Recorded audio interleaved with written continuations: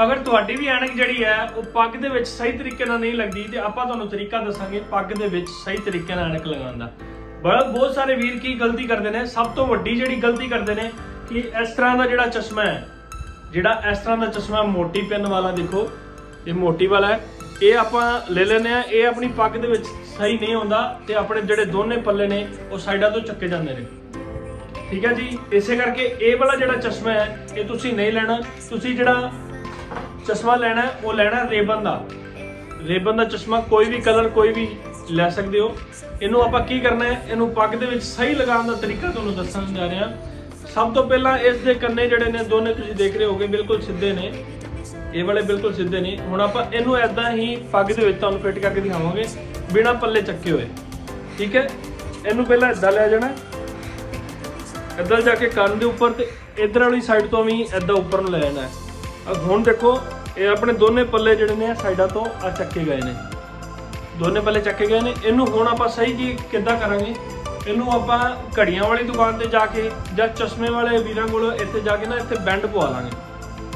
ਇਸ ਵਾਲੀ ਜਗ੍ਹਾ ਤੇ ਆਪਾਂ ਬੈਂਡ ਪਵਾ ਲਾਂਗੇ। ਦੇਖੋ ਥੋੜਾ ਜਿਹਾ ਬੈਂਡ ਪਿਆ ਹੋਇਆ ਹੈ ਨਾ, ਕਿਉਂਕਿ ਮੈਂ ਪਹਿਲਾਂ ਹੀ ਚਸ਼ਮਾ ਲਗਾਉਣਾ, ਇਸੇ ਕਰਕੇ ਬੈਂਡ ਪਿਆ ਹੋਇਆ। ਠੀਕ ਹੈ ਜੀ? ਹੁਣ ਦੇਖੋ, ਤੁਸੀਂ ਬੈਂਡ ਪਾਉਣ ਦਾ ਤਰੀਕਾ, ਮੈਂ ਕਿੱਦਾਂ ਬੈਂਡ ਪਾਉਣਾ? ਮੈਂ ਇਸ ਜਗ੍ਹਾ ਤੋਂ ਐਦਾਂ ਫੜ ਲੈਣਾ। ਇਸ ਨੁੱਕਰ ਤੋਂ ਐਦਾਂ ਇਸ ਚਸ਼ਮੇ ਨੂੰ ਫੜ ਲੈਣਾ। ਤੇ ਐਦਾਂ ਉੱਪਰ ਨੂੰ ਲੈ ਜਾਣਾ ਹੈ। ਥੋੜੀ ਡੰਡੀ ਨੂੰ ਉੱਪਰ ਕਰ ਦੇਣਾ ਤਾਂ ਜੋ ਜਿਹੜਾ ਆਪਾਂ ਇਸ ਵਾਲੀ ਜਗ੍ਹਾ ਤੇ ਆਪਣਾ ਚਸ਼ਮਾ ਅੰਦਰ ਨੂੰ ਜਾਏਗਾ ਤੇ ਪਿੰਨ ਅੰਦਰ ਨੂੰ ਜਾਏਗੀ ਤੇ ਦੂਜੀ ਵਾਲੀ ਸਾਈਡ ਤੇ ਬਾਹਰ ਹੋ ਜਾਏਗੀ। ਦੇਖੋ, ਆਪਣਾ ਚਸ਼ਮਾ ਚਾਹੇ ਖਰਾਬ ਹੋ ਜਾਵੇ, ਲੇਕਿਨ ਆਪਣੀ ਪੱਗ ਦੀ ਜਿਹੜੀ ਸ਼ੇਪ ਹੈ ਤੇ ਪੱਗ ਦੀ ਗ੍ਰੇਸ ਹੈ, ਇਹ ਖਰਾਬ ਨਹੀਂ ਹੋਣੀ ਚਾਹੀਦੀ। ਇਸ ਵਾਲੀ ਸਾਈਡ ਤੋਂ ਆਪਾਂ ਇਦਾਂ ਕਰ ਲਿਆ, ਹੁਣ ਦੂਸਰੀ ਵਾਲੀ ਸਾਈਡ ਤੋਂ ਵੀ ਆਪਾਂ ਇਦਾਂ ਕਰ ਲਾਂਗੇ। ਦੂਸਰੀ ਵਾਲੀ ਸਾਈਡ ਤੋਂ ਇਦਾਂ ਕਰਕੇ ਦੇਖੋ ਦੋਨਾਂ ਡੰਡੀਆਂ ਜਿਹੜੀਆਂ ਆਪਣੀਆਂ ਬਾਹਰ ਖੁੱਲ ਚੁੱਕੀਆਂ ਹੁਣ ਤੁਸੀਂ ਫਿਰ ਇਦਾਂ ਇਹ ਟੇੜ ਦੇ ਵਿੱਚ ਚਸ਼ਮਾ ਲਗਾ ਲਿਆ ਤੇ ਇਧਰ ਵਾਲੀ ਸਾਈਡ ਤੋਂ ਇਦਾਂ ਤੁਸੀਂ ਬਾਜ ਦੀ ਮਦਦ ਨਾਲ ਵੀ ਲੈ- ਬਾਜ ਦੀ ਮਦਦ ਵੀ ਲੈ ਸਕਦੇ ਹੋ, ਬਾਜ ਦੀ ਮਦਦ ਨਾਲ ਵੀ ਸਹੀ ਚਸ਼ਮਾ ਲਗਾ ਸਕਦੇ ਹੋ, ਪੂਰੀ ਡਾਇਰੈਕਸ਼ਨ ਸਹੀ ਕਰਕੇ ਹੁਣ ਤੁਸੀਂ ਦੇਖੋ ਆਪਣਾ ਪੱਲਾ ਬਿਲਕੁਲ ਨਾਲ ਹੈ। ਬਿਲਕੁਲ ਨਾਲ ਹੈ। ਤੇ ਆਪਣਾ ਚਸ਼ਮਾ ਬਿਲਕੁਲ ਵਧੀਆ ਤਰੀਕੇ ਨਾਲ ਲੱਗ ਚੁੱਕਿਆ ਹੈ। ਠੀਕ ਹੈ ਜੀ? ਅਗਰ ਤੁਹਾਨੂੰ ਇਹ ਤਰੀਕਾ ਵਧੀਆ ਲੱਗਿਆ ਹੋਵੇ, ਤਾਂ ਜਿਹੜੇ ਵੀਰ ਤੁਹਾਡੇ ਚਸ਼ਮਾ ਲਾਉਣ ਦੇ ਸ਼ੌਕੀਨ ਹੈਗੇ ਨੇ, ਉਹਨਾਂ ਨੂੰ ਇਹ ਵੀਡੀਓ ਜਰੂਰ ਸ਼ੇਅਰ ਕਰਨਾ, ਠੀਕ ਹੈ ਜੀ? ਤੇ ਇਸ ਚਸ਼ਮੇ ਦਾ ਇੱਕ ਹੋਰ ਤਰੀਕਾ ਦੱਸ ਦੇਣਾ, ਇਹ ਕਈ ਵੀਰ ਕੀ ਕਰਦੇ ਨੇ, ਇਸ ਚਸ਼ਮੇ ਨੂੰ ਇਸ ਜਗ੍ਹਾ ਤੇ ਨਹੀਂ ਲਗਾਉਂਦੇ, ਉੱਪਰ ਵਾਲੇ ਲੜਾਂ ਦੇ ਵਿੱਚ ਲਗਾਉਂਦੇ ਨੇ। ਤੁਸੀਂ ਬਾਜ ਦੀ ਮਦਦ ਨਾਲ ਉਹਦੇ ਵਿੱਚ ਕੀ ਕਰਨਾ ਹੈ ਬਾਜ ਦੀ ਮਦਦ ਨਾਲ ਕੰਨ ਤੱਕ ਦੀ ਲੈਂਥ ਬਣਾ ਲੈਣੀ ਹੈ ਪਹਿਲਾਂ।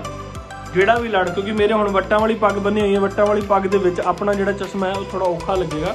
ਆਪਾਂ ਨੂੰ ਪਹਿਲਾਂ ਲੱਭਣਾ ਪਏਗਾ ਕਿ ਕਿਹੜੇ ਵੱਟ ਤੇ ਆਪਣਾ ਦੂਸਰਾ ਲੜ ਹੈ। ਫਿਰ ਆਪਣਾ ਚਸ਼ਮਾ ਲੱਗੇਗਾ। ਜਿੱਦਾਂ ਤੁਹਾਡਾ ਦੂਸਰਾ ਲੜ ਹੋਵੇ ਉਹਦੇ ਵਿੱਚ ਬਾਜ ਪਾ ਕੇ ਉੱਥੇ ਆਪਾਂ ਚਸ਼ਮਾ ਲਗਾ ਸਕਦੇ ਹਾਂ। ਠੀਕ ਹੈ ਜੀ?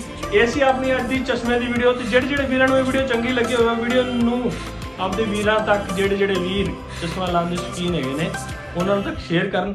ਤੇ ਸਭ ਤੋਂ ਜਿਹੜੀ ਵੱਡੀ ਗੱਲ ਕਿ ਚਸ਼ਮਾ ਲਾਉਣ ਤੋਂ ਬਾਅਦ ਜਿਹੜੇ ਅੱਖ ਦੇ ਲੜ ਨੇ, ਉਹ ਇਦਾਂ ਕਰਕੇ ਅੱਗੇ ਕਰ ਲੈਣੇ ਨੇ। ਜਦੋਂ ਆਪਾਂ ਚਸ਼ਮਾ ਉਤਾਰ ਲਾਂਗੇ ਉਸ ਤੋਂ ਬਾਅਦ ਆਪਾਂ ਇਸ ਲੜਾਂ ਨੂੰ ਅੱਗੇ ਕਰ ਲਾਂਗੇ। ਤਾਂ ਜੋ ਆਪਣੀ ਪੱਗ ਦੀ ਜਿਹੜੀ ਗ੍ਰੇਸ ਆ, ਉਹ ਖਰਾਬ ਨਹੀਂ ਹੋਣੀ ਚਾਹੀਦੀ।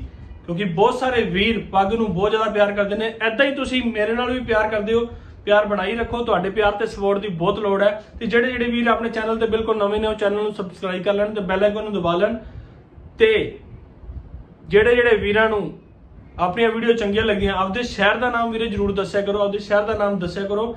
ਤਾਂ ਜੋ ਸਾਨੂੰ ਪਤਾ ਲੱਗ ਸਕੇ ਕਿ ਸਾਨੂੰ ਕਿਹੜੇ, ਕਿੱਥੋਂ ਕਿੱਥੋਂ ਵੀਰ ਦੇਖ ਰਹੇ ਨੇ ਤੇ ਕਿਹੜੇ ਕਿਹੜੇ ਵੀਰ ਆਪਾਂ ਨੂੰ ਪਿਆਰ ਕਰਦੇ ਨੇ। ਤੁਹਾਡੇ ਲਾਈਕ ਦੇ ਕਮੈਂਟ ਦੀ ਬਹੁਤ ਲੋੜ ਹੁੰਦੀ ਹੈ। ਉਹਦੇ ਨਾਲ ਸਾਡਾ ਕੀ ਹੈ ਮੋਟੀਵੇਸ਼ਨ ਬਣਿਆ ਰਹਿੰਦਾ ਤੇ ਉਹਦੇ ਨਾਲ ਹੀ ਆਪਾਂ ਹੋਰ ਵੀਡੀਓ ਲੈ ਕੇ ਆਉਂਦੇ ਹਾਂ। ਠੀਕ ਹੈ ਜੀ? ਵਾਹਿਗੁਰੂ ਜੀ ਕਾ ਖਾਲਸਾ, ਵਾਹਿਗੁਰੂ ਜੀ ਕੀ ਫਤਿਹ।